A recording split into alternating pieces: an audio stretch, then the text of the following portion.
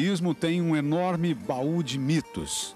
Como o que ouvimos agora, são muitas as narrativas que se espalharam pelo Brasil no lombo das mulas.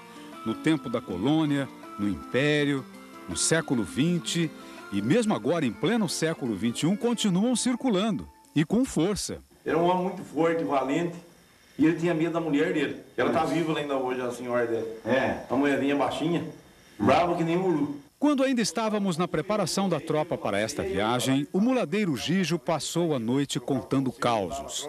Aquele jeito que marcaram muitos tropeiros, você fica meio sem saber se é folclore ou acontecido mesmo.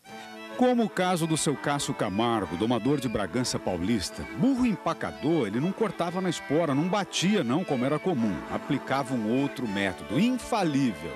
Esse é o caso, tudo quanto é irmão empacador ia parar na mão dele. Gígio conta que além do guarda-chuva para aguentar o sol, seu Cássio levava também uma bolsa cheia de coisas para se distrair.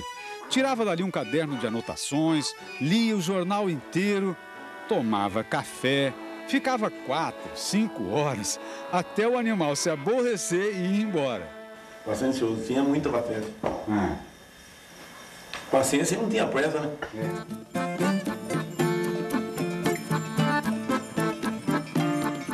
Nesses dias, no Rio Grande do Sul, em que estamos tropeando com os cavaleiros do Planalto Médio, a gente dá boas risadas também com os causos contados à moda gaúcha. Tiraram uma foto de um companheiro ao lado de um burro. É. Agora não se sabe qual dos dois é o verdadeiro. Mas, na minha opinião, o cidadão que é o mais verdadeiro. Quase sempre a conversa começa com um ar mais solene. Depois é que se revela uma pilhéria, como o desfecho de uma piada. Desde que nos encontramos em Passo Fundo, já fizemos mais de 150 quilômetros com essa turma. Indo ao lado de Antônio Curtis, observo que a paisagem está mudando.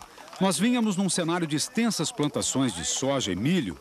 Agora são pequenas propriedades, criações, barracões de fumo e a morraria se apresenta. Já estamos nos contrafortes da Serra Gaúcha. O Antônio aproveita para me explicar como é que os parentes dele fazem para plantar feijão em morro muito inclinado assim. Para lavrar, é. eles lavam com um boi e um porco. É. E se botar dois boi, um vai tombar. Então eles botam no lado de baixo um boi e no de cima um porco. Daí a canga fica parelha, né? Para plantar, em vez do chumbinho, ele enche o cano de uma espingarda com as sementes de feijão e semeia no tiro.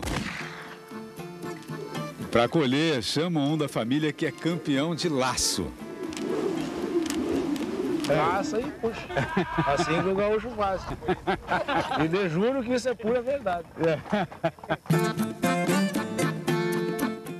clima de brincadeira é tal que inicialmente ninguém leva a sério quando um dos acompanhantes vem lá de trás para abordar o chefe da comitiva, veterinário Edson Pagoto, querendo propor um negócio. É o seu José da Silva Almeida, o seu Juca. Bonita essa montaria aí. Muito bonita a montaria, hein? Boa, aí mula é? boa. Tem posição de negócio? A troca, a possibilidade de troca ou só venda? Seu Juca faz cara de interessado mesmo, de quem vem até pesquisando o assunto. Porém, como tudo isso pode ser um teatrinho, faz de conta do seu Juca, talvez até uma pegadinha, os paulistas, como se diz, ficam na moita. Porque a regra da tropeada com eles aqui tem sido essa, sempre a brincadeira.